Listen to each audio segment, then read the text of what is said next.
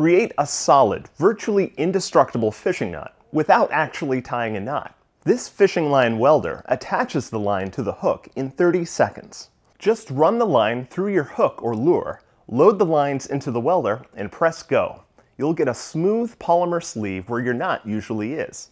This super strong joint has extra room so the hook won't get caught in weeds or pick up dirt. And Tauten isn't just reliable, it's also surgically precise. Co-founder Paul Fenton's design was informed by his experience manufacturing welding devices for medical procedures. He realized fishing lines and sutures are actually quite similar. The welder was well received by veteran fishers and hobbyists alike. You'll spend less time calculating what knot to tie and more time doing what you came for, fishing.